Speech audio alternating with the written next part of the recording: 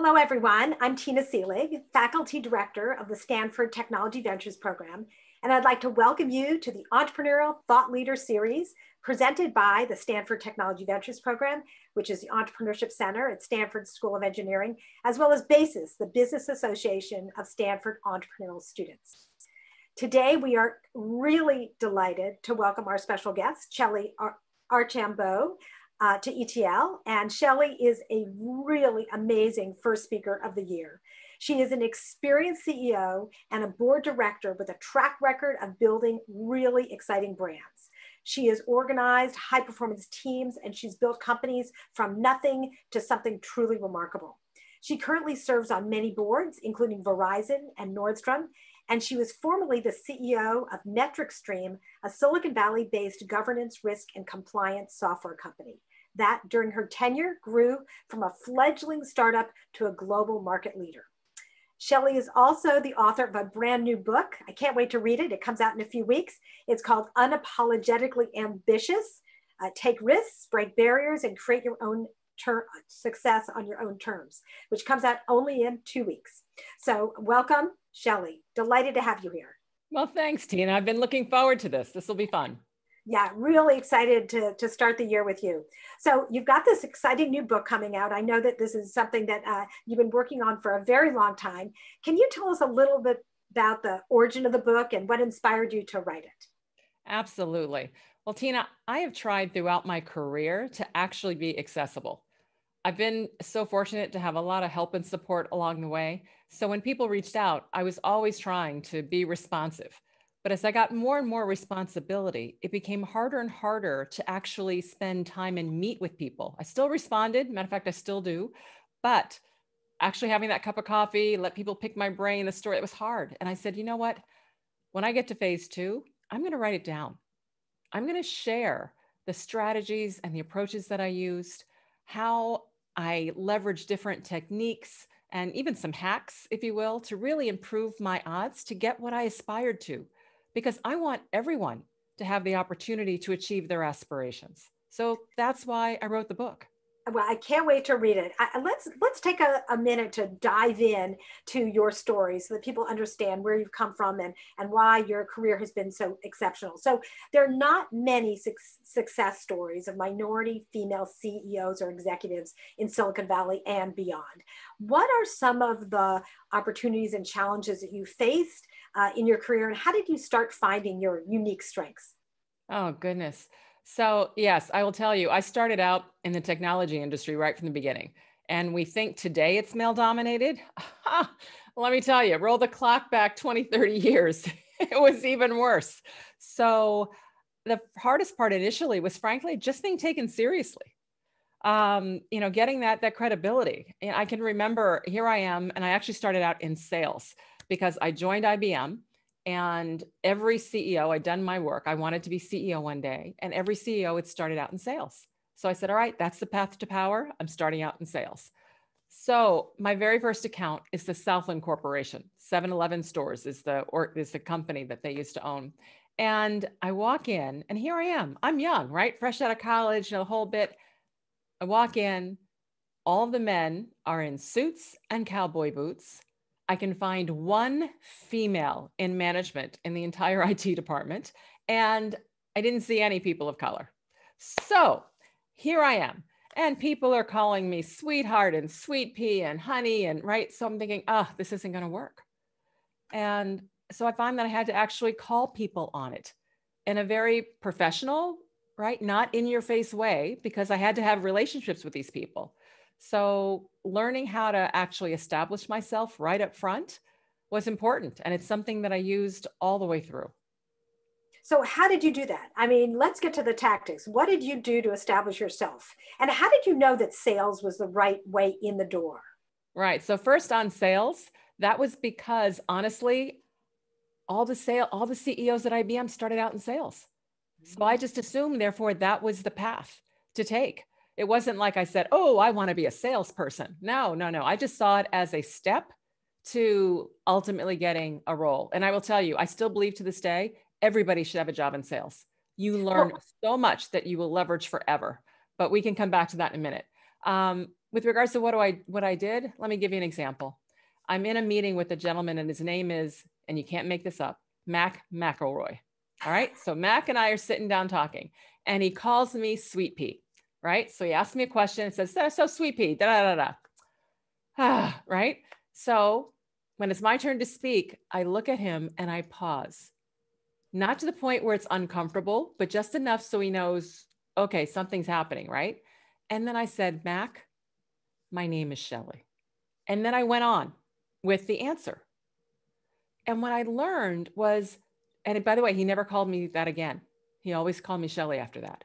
So what I what I learned and what I took to always do when I found myself in those situations was address it.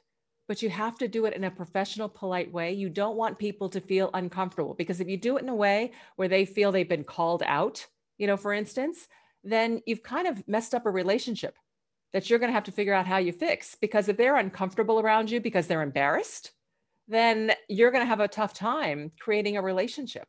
So you want to do these things, but you need to do it in a way in which you aren't putting people back on their heels or making them embarrassed or doing anything that creates discomfort because it takes too long to rectify that. I think that is a really important lesson because it's it, there's often a instinct to want to say, you know what, I'm going to be really aggressive, you know, I'm going to be really tough, I'm going to put you in your place, but it just backfires. The key is you want to make sure that people want to work with you. But yeah. you were very clear and you sort of held your ground in a polite and professional way, just taking a little bit of extra time to make it clear that um, you actually needed to be listened to. Right. Very, very important. Um, so I'd love to, well, I think there's another thing I want to bring up here, and I, maybe we'll get to it later also. But sales is interesting, and because I want to, I want to double click on this. First of all, we're all salespeople, no matter what we're doing, and coming in, right? I mean, you're selling a book right now, okay? Is that um, in every role, having those skills is really important, and uh, understanding that also in sales there are very clear metrics for success, right? So I'm sure that if you were successful there, it was very, very clear that you actually what you had actually accomplished. Can, can you talk a little bit about that? That's absolutely true. And I'll be candid, I didn't even think about that when I took the job.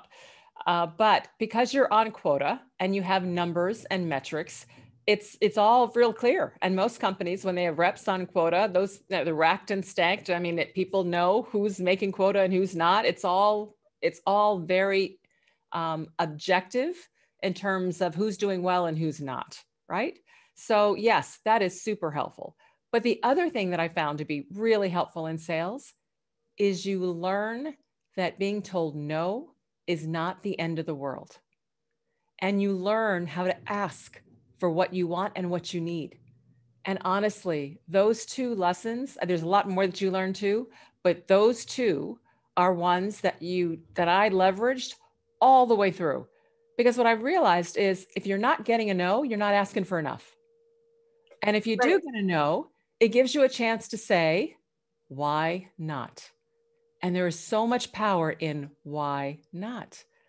Because then people have to explain, which means it gives you a ah. chance to learn, to understand, to put together a plan. You know, all that no means is not now. Right. Not yet. Not yet. Yeah. Not now, not yet, not, but it doesn't mean like no, forever, finite, never. And all you have to do is to figure out, well, how do I make the time right or the circumstance right or my skills right or the experience right or whatever? How do I solve for that? And then you get a yes. Now, did you train for this? I mean, was there training to teach you how to be a good salesperson, or was this something that you just learned on the job? Yeah, fortunately, back when I joined IBM, there was real training so that yes we got trained on how to be a salesperson and frankly that was some of the best training I, I, ever got. Like i said you use it all the way through so we have a question from one of the students and who wanted to address this question of how you uh, present yourself, especially as a, a woman of color, uh, where often uh, people want to paint a picture of you as being aggressive or dominant. How do you overcome that prejudice as opposed to you know, people sort of making assumptions about how you're going to be engaged in the workplace? Mm. Yeah. So, you know, it's hard I know that, frankly, being a minority female, whenever I walk into a new situation, people already have a set of assumptions in their mind. Now, you just can't let that be a barrier to how you approach things, but just realize it's the case and then do what you need to do. So, uh, let me give you examples. Um, one of the things that I've found is many times being, you know, I'll call it super direct, is tough for women because people will think that, all right, you're being just too aggressive, right? If you're super direct. So figure out how to be direct and just not super. Um, I mean, one of the things that I found is being direct, a lot of the times it can be in your voice.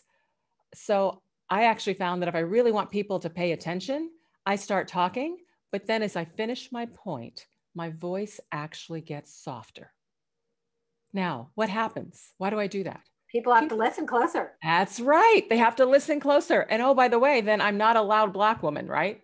Um, so there are there are things that you can do in terms of to to still stay true to who you are, but just realize how to adjust for the culture. And that's what I call it. It's just like if you were to go to Tokyo or you were to go to France or you were to go to South Africa and you were trying to do business. You don't have to change who you are but you do need to learn how to fit within the culture and be heard and understood within the culture. Well, frankly, working in a male dominated environment, same thing. It's just a culture. Well, so you've had lots of experiences. I mean, starting in IBM and you worked at Blockbuster, lots of other companies. Can you talk a little bit about those different experiences and what you learned in each one of them or something you'd take away from that range of, of opportunities you had? Oh, absolutely. So IBM, where I spent actually almost 14 years, and the big things I learned in IBM was, as I said, how to sell. So how to sell your ideas, get things done, et cetera. I also learned how to ask for what I wanted.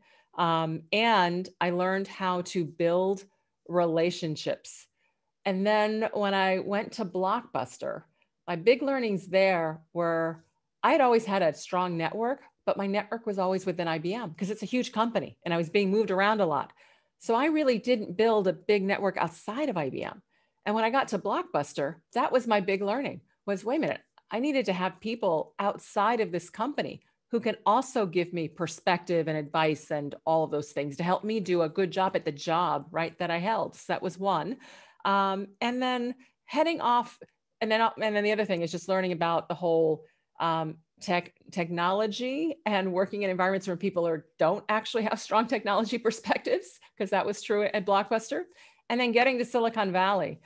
Oh gosh um, so much because that's where yes i was the chief marketing officer and evp at sales at two newly public companies um, northpoint as well as loudcloud. So that's really where i learned about talking to investors right? Pitching to boards um, indeed understanding what's important how do you scale and at the same time put processes and things behind it to make sure you don't like scale right off the cliff. Um, and then MetricStream i just learned a ton because that was such a broken company when i got there. And a lot of frankly all the little things i had gained along the way really came together to help me execute as a strong leader at MetricStream. That's great. Now I, I know that one of the things that is such a powerful tool um, I'm sure in all of these roles is lo- learning how to negotiate and to advocate for yourself. How do you approach negotiations? I know this is something that is often you know missed in teaching in school teaching people actually how to negotiate for themselves can you give maybe an example of a negotiation that you've had about a new role or promotion that turned out to be pivotal in your career absolutely and I guess the one I'll pick, there are a few, but the one that I will pick because it's the one, frankly, I'm most proud of, um, is when here I am in Dallas, Texas. I'm at Blockbuster and I'm trying to get to Silicon Valley. So I have an opportunity for the chief marketing officer role at a company called Northpoint.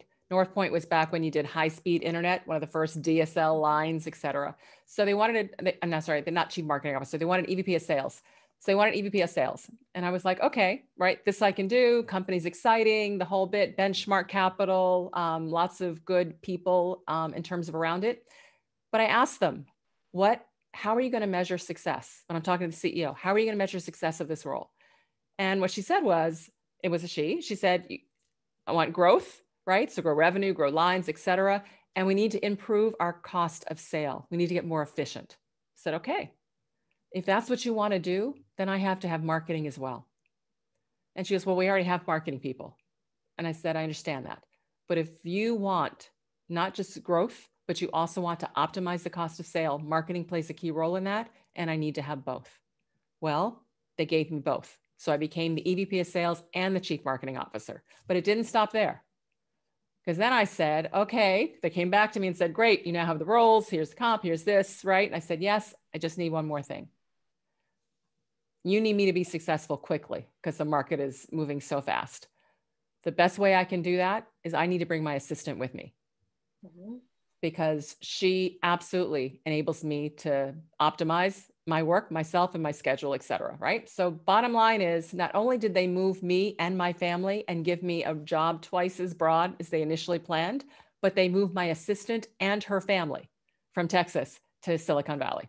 Fabulous. I think a really interesting um, lesson in there is a being really clear about what you do want, like actually realize, you know, being very thoughtful beforehand and being willing to ask for it. Right. Right. I mean, it, they might have said no, and it might have been a not yet situation. But uh, you, you, if you didn't ask, you were never going to know whether that was possible. Exactly right, and that's what I tell people. If you aren't getting no's, you're not asking for enough. So it's okay to get a no. You not if they have told me no, well, that would have been no different than if I never asked them in the first place, right? right. So always ask yeah and and it's um i mean it's it's fascinating. They had already made the decision that they wanted you right? They had already made that decision and so once they were already committed you now were in a place where you could say okay you know in order to make this work here are some things i really need to be successful. And i like the fact that you framed it that way. You want me to be successful here. Here's what i need to make to be successful for you. Absolutely. You always have to. It's the win-win part of it tina you always have to make sure that you're clear when you're negotiating and having conversations what's in it for the other party mm-hmm. right? Why should they do it? You want them to actually want right. to do it. It's not just give you something but you want them to want to do it. And that's why it's so important. So two points that you raised. One is yes always make sure it's the win-win. But the other is know your power and when you have your power. If i had asked for that like right up front it never would have happened. Right never would have happened. Right. If you would, if when they first start talking to said, I need sales and I need marketing and I need to bring my assistant, they're like, goodbye, Shellye, see you later. But once they were already committed, you right. now had the power to be able to ask for what you wanted. But you Absolutely. what you wanted, which I thought was, you know, super important for you to take the time to consider that. So you've obviously accomplished so much and you do so much how do you manage your time, right? All of these boards, I know that each one of these has got to be a really big responsibility and, and time commitment. All these leadership positions, how do you scale yourself and deal with the demands so that you, you know, just don't burn out? It's, you know, two things. One, it's about prioritization and self care.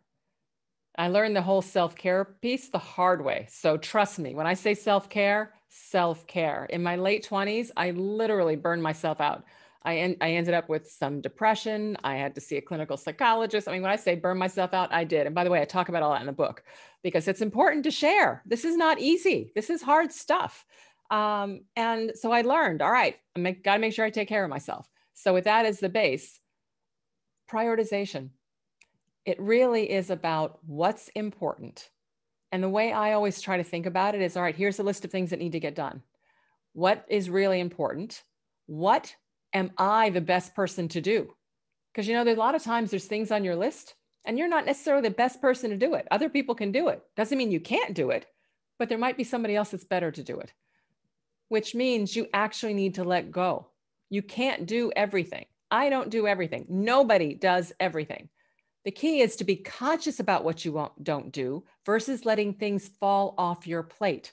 Because letting things fall off the plate means you're not going to be doing a good job at whatever it is.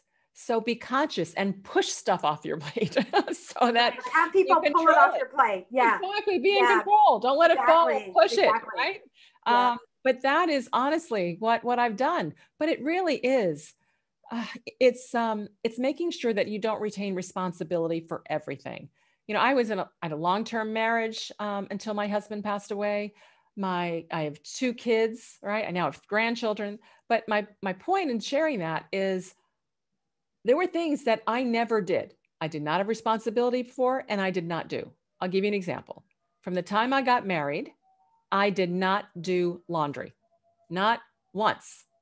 My husband might ask me, Oh, Shellye, would you mind pushing the moving one load from the washer to the dryer? Right. So he might ask me that if I'm walking past where the laundry room is. I did not do laundry. So if I needed something and it was still dirty, I just did without. I was not going to touch laundry because that was not my job. So being real clear about what you're going to do, what you're not going to do, and then actually letting go.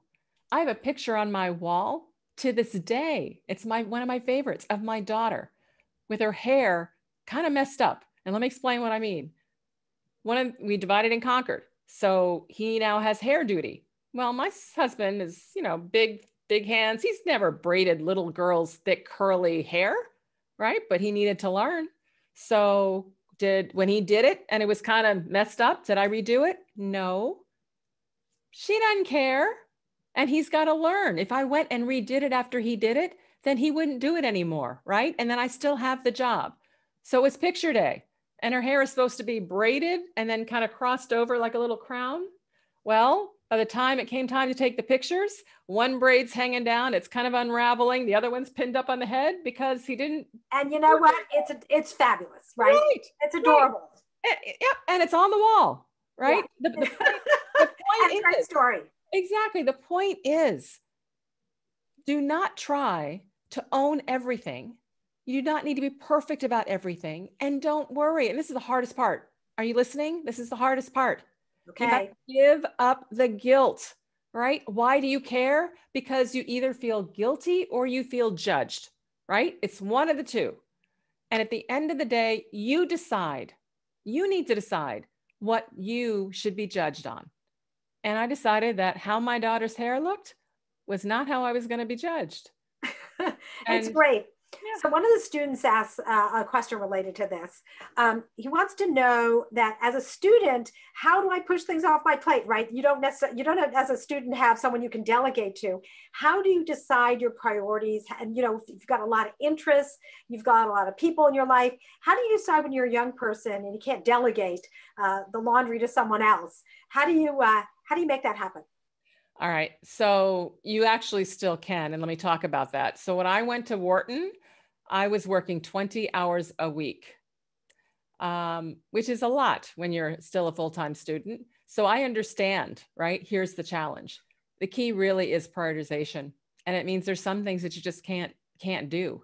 So I was really disciplined about all right, here's what has to be done when. Now, what do I mean by you can still delegate?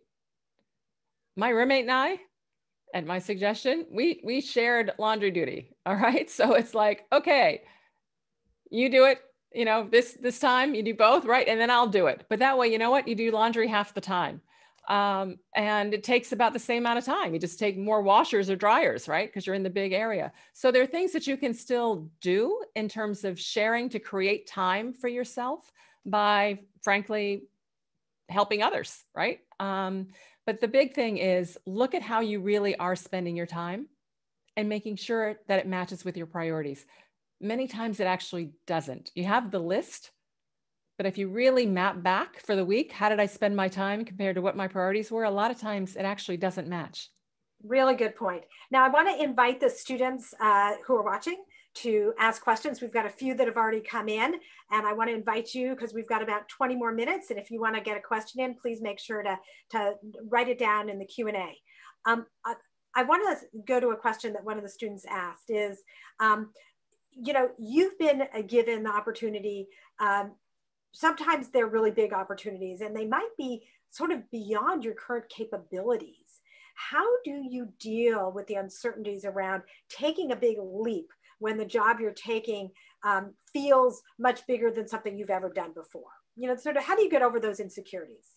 Right. So two things. One, I call, you know, in general, that's really called imposter syndrome, right? Which is when you think that, ooh, I really don't have all that I need to be able to do this, or somebody's going to figure it. If I take this job, somebody's going to figure out I don't know as much as I, you know, as they think I know. All those things, uh, which I also talk about a lot in the book because I've dealt with imposter syndrome my entire life.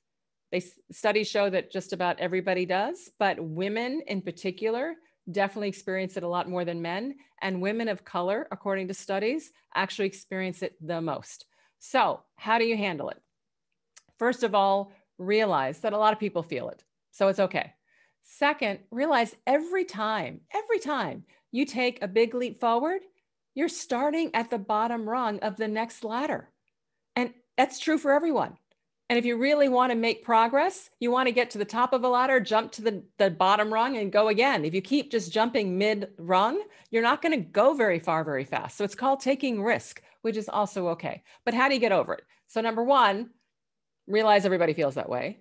Uh, number two, if somebody's offered you the role, then they obviously believe that you can do it. Believe them.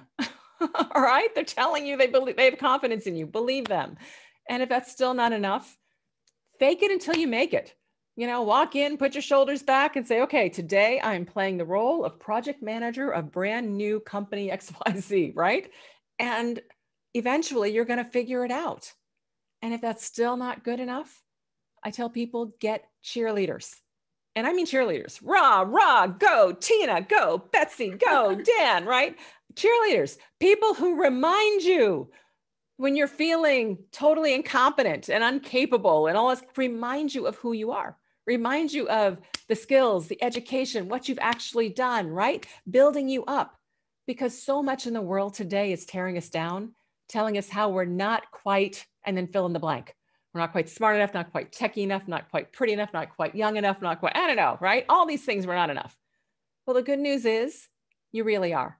And if you don't believe it, then have somebody I don't care who it is, be your cheerleader. I've had cheerleaders my whole life. My husband was my biggest cheerleader. And if you don't have one, appoint somebody. Say, okay, sis, you're now my cheerleader. And here's what this means because Shellye said I need a cheerleader, right? So go get a cheerleader. So I, I, really think this is important. And I think that there are two types of cheerleaders that people often don't distinguish between mentors and sponsors.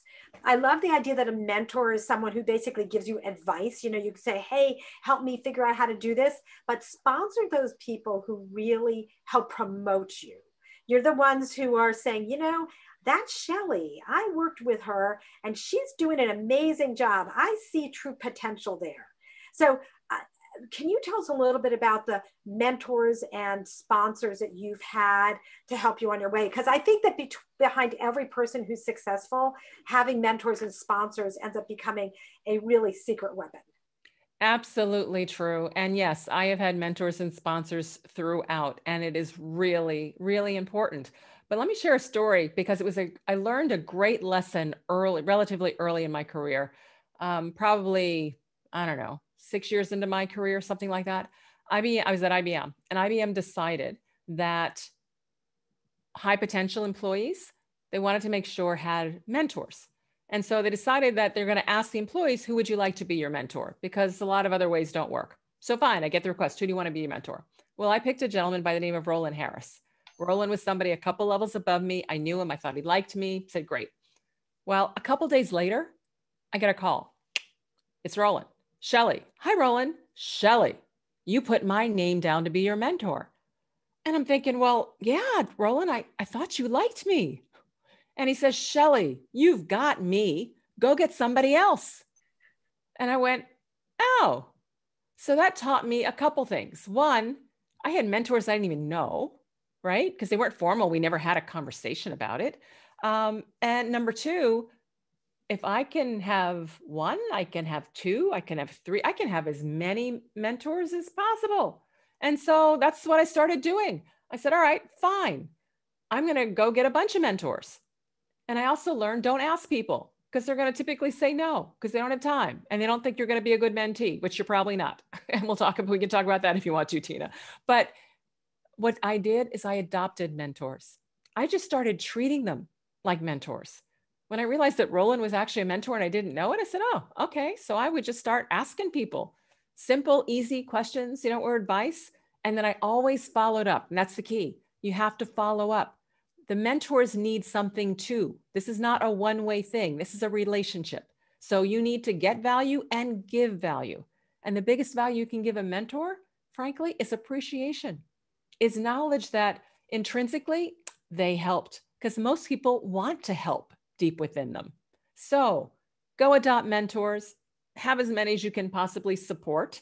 And then what happens a lot of times is as you work hard and do well and rise, many mentors can become sponsors because now they want to claim you. It's like, oh, yeah, Shellye. Oh, yeah, I, I've been giving her advice on the side, right? this is all me. you know, but that they do. Um, and they'll open doors for you. So I've had many a mentor turn into a sponsor.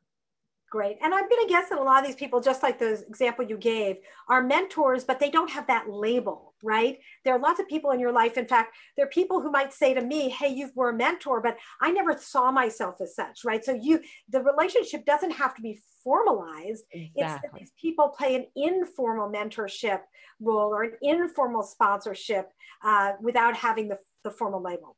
Absolutely. So we have a student who asks a very big, broad question what motivates you? You know what is it that it keeps you driven to keep succeeding? All of this is a lot of work a lot of energy a lot of time. What what drives you? What motivates you?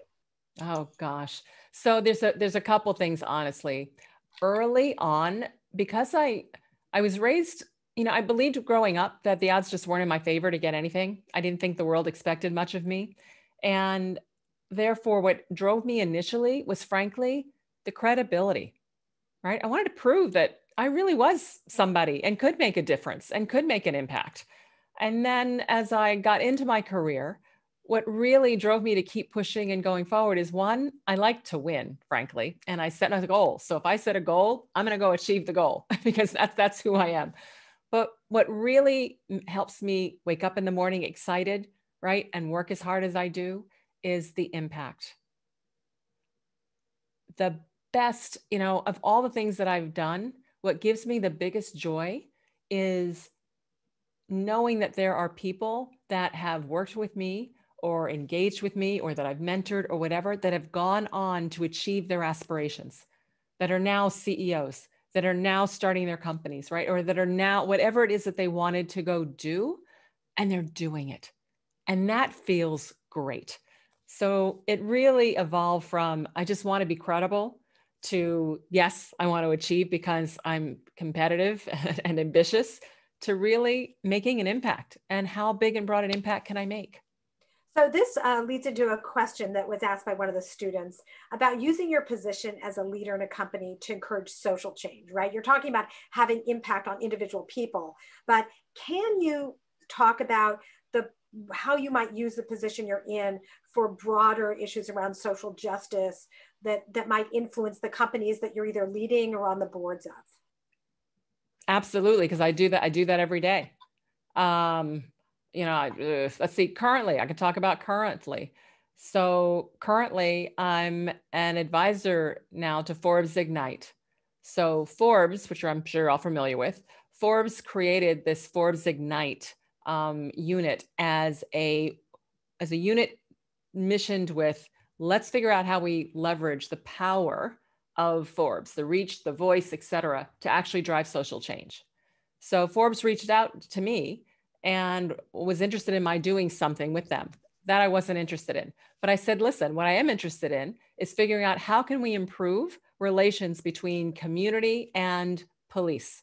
Because I've always believed if we could, if, if business would just use their power, they could make an incredible impact on local government right? Um, so Forbes got behind that.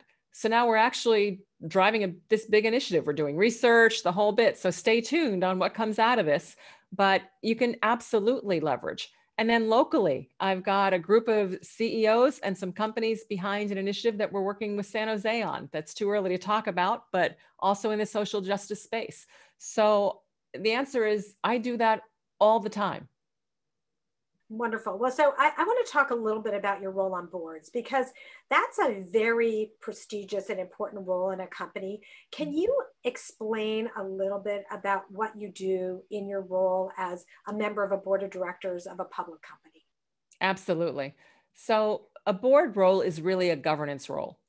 Our job on behalf of the shareholders is to make sure that the company has the right strategy, the right management in place that they are operating under following the laws, but also operating within a good risk um, profile and are good corporate citizens, treat people right. I mean, all, all those things, right, that you have there.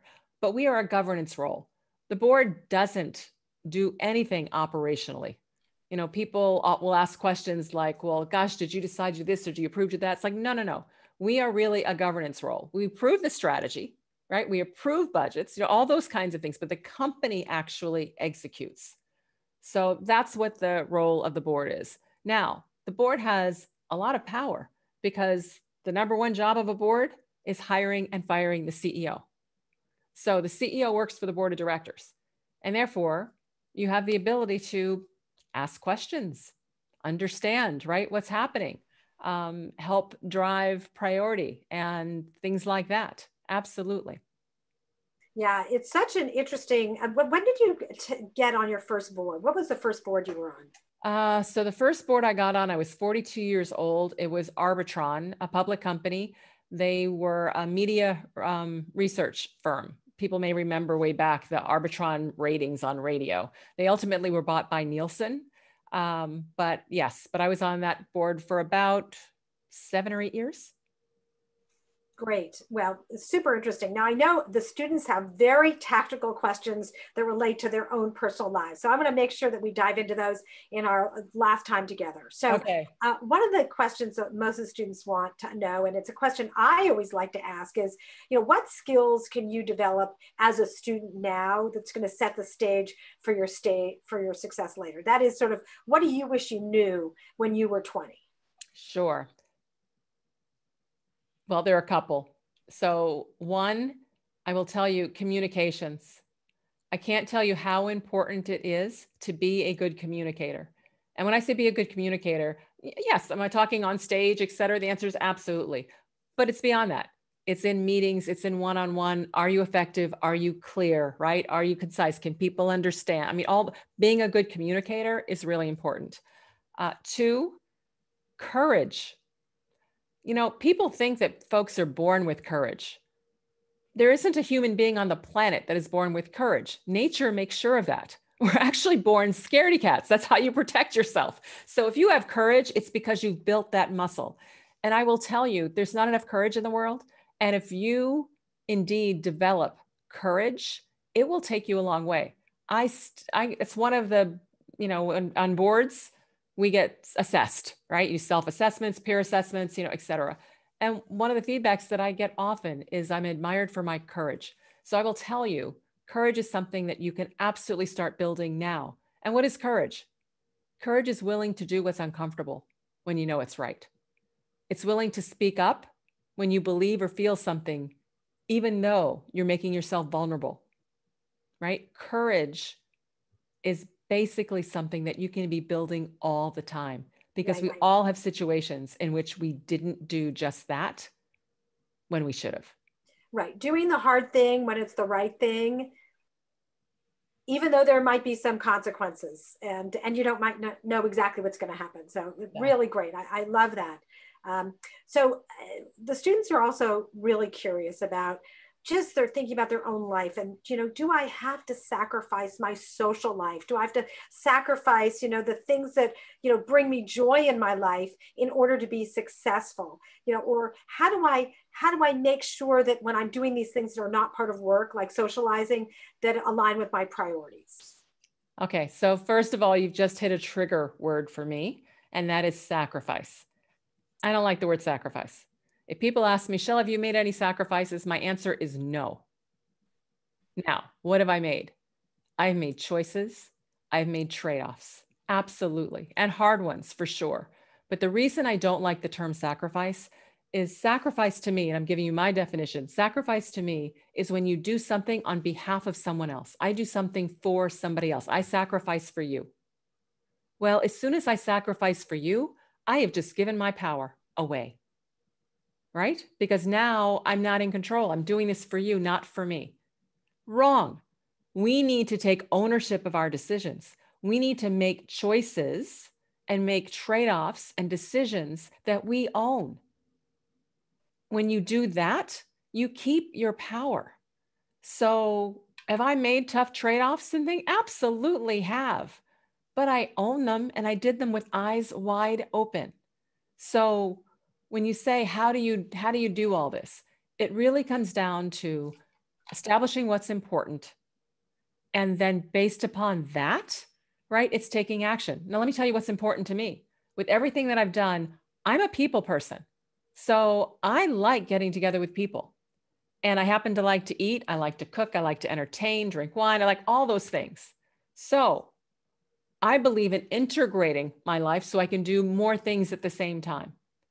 So I started a gourmet dinner club when I moved to the Bay Area. I started a gourmet dinner club, not that everybody had to be great cooks, but I started it because that allowed me to do in one event where I could cook, eat, drink wine, socialize with people, right? Entertain all in one. So think about how you can accomplish multiple things in one way. I love the performing arts. So when we go see a ballet or a concert, etc., Scotty and I, my husband, I would we rarely go alone. More than that, I'd make outings out of a number of these things, and we'd invite like 50 people. I mean, it's a big event. I'm going to go anyway, right? So figure out how you actually put things together so that you can accomplish multiple tasks at the same time. That yeah, and there are lots of ways to do that, aren't there? I mean, I know some VCs who always take their meetings walking, right? So it's like, okay, I need to get exercise. I want to take this meeting. Come and join me on this walk. I do the same thing. I call them walks and talks. Yep, I fully, fully agree. So just think about you, there's always ways to do it. Now, can you do absolutely everything? No. Do I get to see every single play and every single concert I want to see? Absolutely not but I do get out there when we can, not during COVID. Um, but before that, I used to get out there and absolutely still do those things. So uh, there's a question that um, a lot of people want to know about is about, um, they, they're reflecting back on you're talking about going through really tough times when you were younger. And uh, I mean, listen, uh, if you talk to almost anyone who's been successful, they have at some point pushed themselves so hard that they finally cracked. They kind of hit their limits. They found how far they could go. How did you work through that? What was it that you had to do to get to the other side of that really difficult time? I had to get help. Um, I actually, I started, I went to see a, a psychologist and we had sessions and had to talk to try to understand. And what I learned from that is that I was giving all of myself away. I was the how I was spending my time, what I was doing, I was just giving it all away. I was doing almost nothing to feed my soul, right? And to feel feed myself. And that's what I meant by self-care is so important. And I learned that the hard way. So you know, nobody does any of this stuff alone. And it's all about finding the right kind of help for when you need it. Because trust me, you will need help all along the way. I absolutely have. Yeah, I, I, think that's really, really important. And also to understand that this is something that um, everybody, you know, lots of people go through, right? Hitting that wall and figuring out how they need to get yeah. help to, to get back up on their feet. Absolutely. Great. So there's another question about, um, and I don't know exactly the context here, but the question is, how do you deal with direct competition? And I don't know whether we're talking about competition like another company or another person. Maybe there's another salesperson you're competing with. I mean, do you perceive competition in the in the world? Do you see yourself as a competitive person? How do you how do you engage with that? I I know that uh, oftentimes there are people who are very driven who are not competitive and also there are people who are competitive who are competitive you know as well as driven. So how do you think about that? So first of all i am the eldest of four. My parents had four children in less than five years. Boom boom boom boom boom boom boom. I'm competitive we're all competitive. Uh, so yes, I'm definitely competitive. Uh, when, but you know, it's interesting. I never, I don't know that I ever looked at it as I'm competing against a person for something. You know, I, so I would compete, yes, because I, I want to finish on top and I want to do better. Like when you're in sales, you know, this person's 120% a quota and you're trying to get better. And so, yeah, I would compete that way. Um, I'm not sure I understand the question. If, if, if the question is trying to get at, do I ever see myself as competing? It's like you and me for, you know, against the world. So only one of us is going to win and one is going to lose. I don't think I necessarily felt about things that way. I've always felt there's enough opportunity out there for everybody eventually. So I'm sorry, I'm probably not answering what. No, you- but I think this is a really good point because I, am just going to be a little personal here about myself is that people often think I'm very competitive, but I'm not at all. I'm very driven. And I think that it's possible to be very driven, but also seeing a place for everybody else to have success as well. And it sounds like that's sort of what the way that you engage with the world. Mm-hmm. Yes, I do. Great. So as we head into the final few minutes here, I wonder if you could tell us if you had a single superpower what would that be? What is your superpower? Clearly, you have been remarkably successful in your career and have just accomplished more than probably you ever even imagined you could. Um, what is the superpower that's allowed you to do this?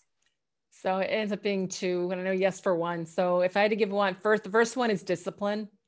I am super disciplined. Um, and the other is courage, which I mentioned before. So, but discipline plays a role because it allows me back to you set priorities and you live by the priorities. If you're disciplined, you can do that. Uh, you know, example, I was a night person. Coming out of college, I was a night person. Well, when I had children, it was like, oh, if I stay a night person, I'm going to have zero time for myself. And so, literally, I even read up how to do this every week you move your clock up your timer your wake up time 15 minutes right kind of at a week and you can get yourself but i literally trained myself to become a morning person. Not because that was something that i just aspired to do but it was self-preservation right? So you can be whatever you want to be but yeah i'm i'm very disciplined. So i put a plan in place i execute the plan and then i make decisions every day consistent with that which is another thing that a lot of people don't do and I talk about how to do that and how to think about that in the book as well, because it's really about being intentional with your actions. I really love this because I think what, what I've heard as an underlying theme of the entire discussion is that you are extremely thoughtful about what's important to you. And then you craft your life around those priorities and those goals. And I think that a lot of people don't do that they are sort of a leaf in the wind, re, being reactive as opposed to proactive.